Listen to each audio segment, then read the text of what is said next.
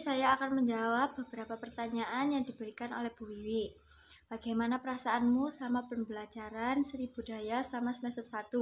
Perasaan saya senang, sedih, terharu, juga banyak sekali pembelajaran yang dapat saya ambil dari tugas-tugas yang diberikan. Tidak hanya sekedar pembelajaran yang saya ambil, tapi juga pengalaman yang sangat berkesan bagi saya dari mulai tugas di sekolah maupun di luar sekolah.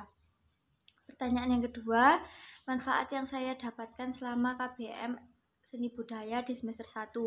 Manfaat yang saya dapatkan dari pembelajaran seni budaya adalah saya dapat mempresentasikan tugas saya dengan lebih baik lagi, bisa mengenal tarian-tarian yang sebelumnya saya tidak pernah melihat. Saya juga tahu susunan membuat artikel. Pertanyaan yang ketiga, masukan atau kritikan saran yang akan saya berikan dalam pembelajaran seni budaya. Hmm, lebih detail lagi dalam memberikan tugas dan juga materi.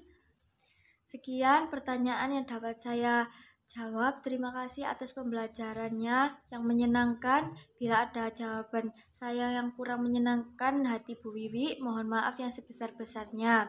Wassalamualaikum warahmatullahi wabarakatuh.